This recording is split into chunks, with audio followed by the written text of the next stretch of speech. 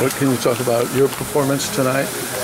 Well, you know, it started off slow, you know, and it was just a matter of, you know, guys giving me um, good looks, you know, where I could finish right by the basket, and I think seeing it uh, go down helped a lot, you know, but, um, but uh, you know, I, I, was proud of our bigs, uh, especially defensively, you know, we were really talking to each other, helping each other out, and uh, I think our front court did a pretty good job in that. Talk about the, the matchup between you and Dwight. You did a pretty good job offensively, you looked good, and mm-hmm. talk about that. Yeah, you know, it's always fun to play a guy like that, you know.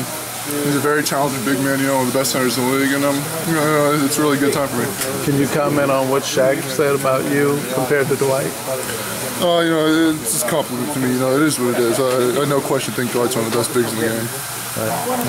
Yeah. All right. Thank you.